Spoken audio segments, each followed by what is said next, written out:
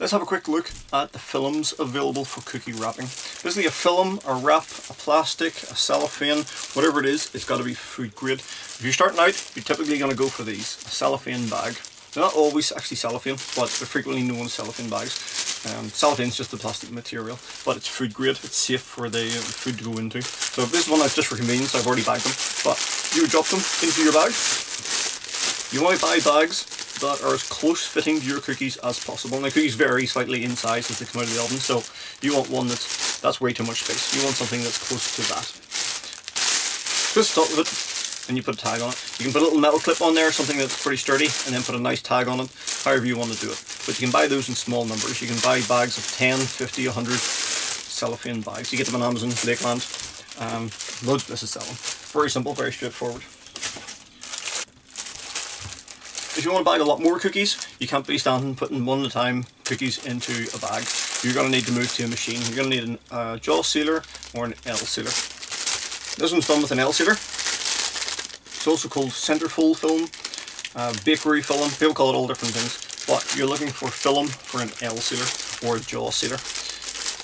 Film, cookies go inside the film and it's sealed on two sides. That's the L shape. This is how the roll comes. They typically come in massive rolls. This one's 1500 meters. And they're heavy.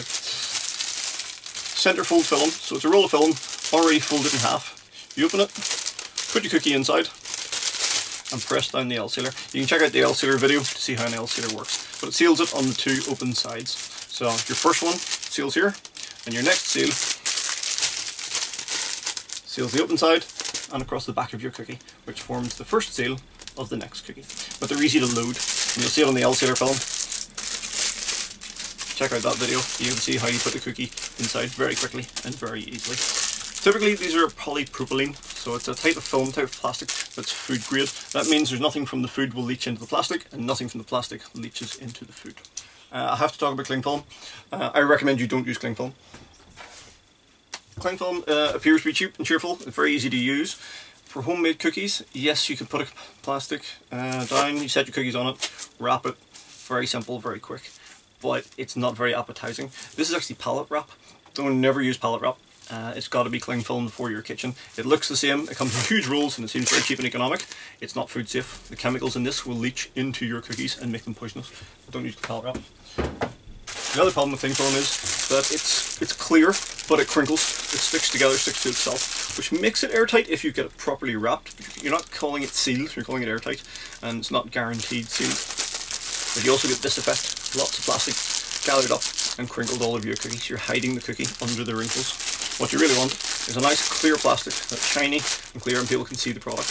Or when you take it out of the box, they can see it and it's pleasant to look at. If people think you've been pawing all over your cookies putting cling film on it, it's off-putting. People like homemade, but not homemade where you pour pawed all over the food. They like the idea of it being clean and barely touched out of the oven, which is what you want. Flow wrap film, Similar to L-seal film, similar to centerfold, it comes in big rolls. This is about a third of a roll. It's a heavy duty plastic that heat seals and is food safe. There's nothing in this which will leach into your food, so you can store it in your food, your, wrap your cookies in it for years. Goes through the machine, gets folded over the top of your cookie, sealed on the bottom, sealed at the other ends, fins seal it with the heat sealer. Um, check out the other videos on flow wrappers to see how that works. But beware of buying it if you want to be an eco-friendly company.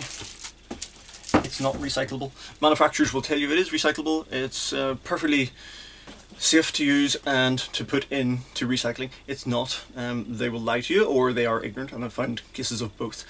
Uh, it's recyclable in industrial facilities. Those industrial facilities at the end of 2021 now are not currently available in the UK. You can start to take it to Sainsbury's, Tesco, some of the big supermarkets, and they will take it away. But if you're doing uh, commercial cookie making, they're not going to take big bags of your waste uh, polypropylene. So that's the flexible plastic you'll hear about that is bad for the environment and it is it doesn't break down it takes forever so it's pretty horrible stuff but it's the standard in the food industry because it keeps foods fresh for years uh, and it fits the flow wrap systems the big machines that people have currently. There are companies like uh, Natureflex. So they're uh, in Europe and they make a compostable flow wrap film but currently it's four times the price and you've got to order by the pallet. So if you have the money and the space it's a great alternative especially if you want to be an eco-friendly company which everybody should be, but packaging companies currently are still flogging tons of this stuff because it fits the machinery.